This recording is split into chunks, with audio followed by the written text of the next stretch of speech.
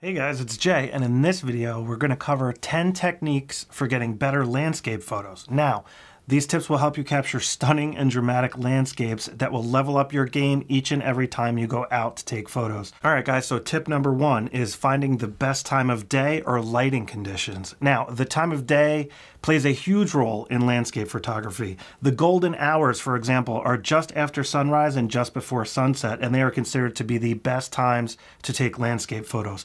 Golden hour light has a glowing warm feeling to it.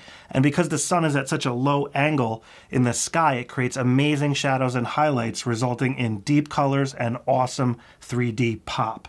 Now tip number two, choosing the right lens. For the most part, using a wide angle lens is ideal for landscape photography because it allows you to capture the vastness of the scene in front of you for that epic look. Now, you can certainly use non-wide angle lenses for landscapes as well, but in general, I would recommend a wide angle lens. For example, my preferred wide angle lenses are currently the Sony 16 to 35 millimeter f4 lens and the Sony 20mm f1.8G lens when using my full frame Sony a7 IV. Now when I'm using my crop factor camera, which is the Sony a6400, uh, I tend to grab the Viltrox 13mm f1.4 lens for that ultra wide angle view. Similar to using the right lens, using the right aperture is also critical with landscape photography. For landscapes in general, you usually want everything to be sharp from the front all the way to the back. So for this, you will want a higher number aperture like f8, f11, or even f16 for example. You will also want to focus on the key subject for the maximum depth of field.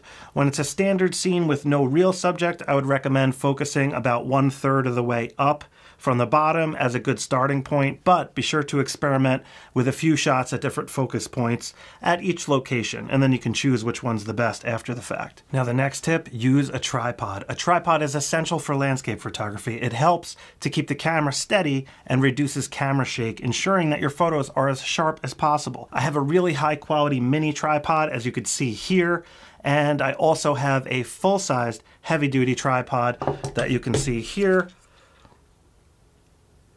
now, in addition to using the tripod, I highly recommend also using the camera's self-timer feature. So this way you have a few seconds for the camera to settle after you press the shutter button.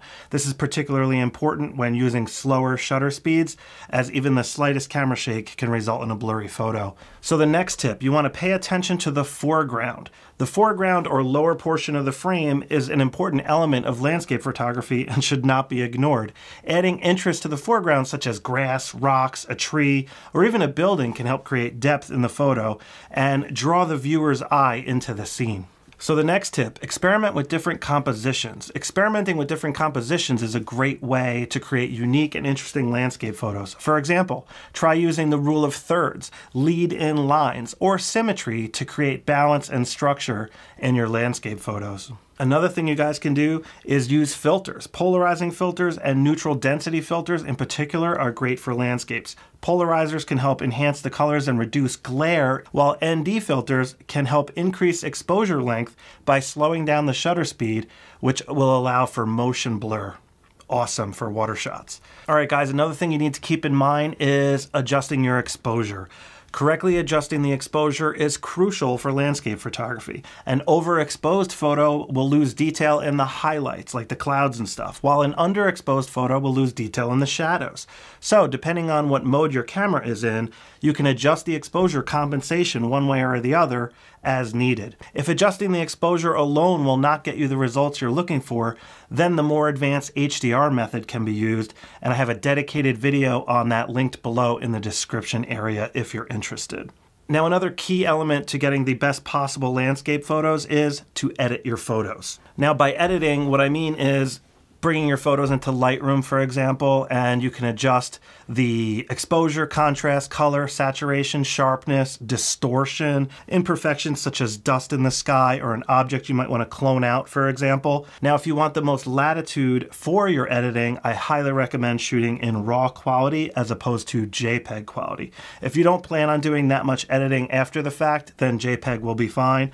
But again, for the most possible latitude, raw quality is the way to go. So lastly, you really just got to get out there and practice. The more you practice, the better your landscape photos will be 100%. All right guys, I really hope these 10 tips will help you take better landscape photos and please hit that subscribe button and thumbs up if you found this video helpful.